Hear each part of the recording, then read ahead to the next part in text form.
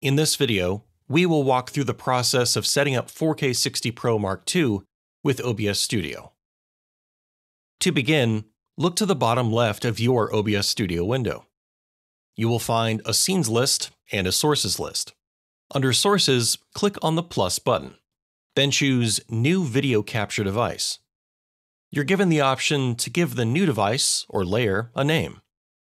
Enter a custom name or just click OK, and you will see a new window. This is the Properties window.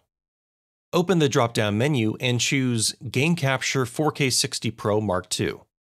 Once selected, the preview will change to show any detected signal from the HDMI input on your 4K 60 Pro.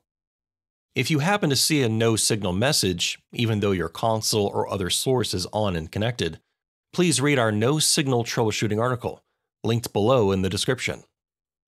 In this new Preview Properties panel, you will be able to make changes to the capture card itself. These options can get a little bit involved, so we'll focus on the basics and link more information in the description. In general, we recommend leaving the options in this window on their defaults. Your 4K 60 Pro is actually all ready to go. If you find yourself switching sources often, which have different resolutions, and wish to keep them consistently sized in OBS Studio, you can change resolution slash FPS type to custom. Then set resolution to a common option for your needs, usually 3840 by 2160.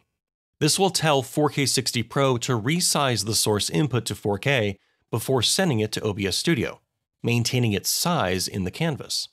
Then change FPS to 60. If you are using Elgato ChatLink Pro, scroll down to the bottom and check the box next to Use Custom Audio Device.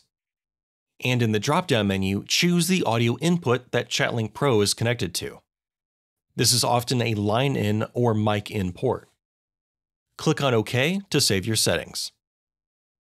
OBS Studio has another resolution to pay attention to, the canvas. The canvas, put simply, is the entire layout of your recording or stream.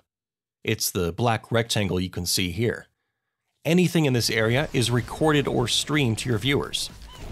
Ensure that the canvas is also set to 4K, 3840 by 2160.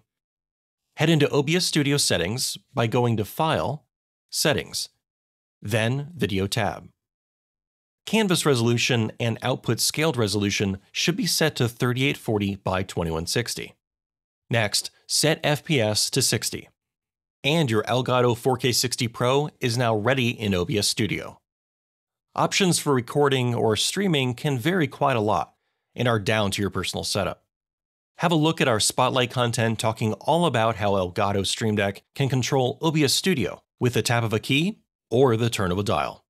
Let us know what content you'd like to see with Elgato products and OBS Studio in the comments below.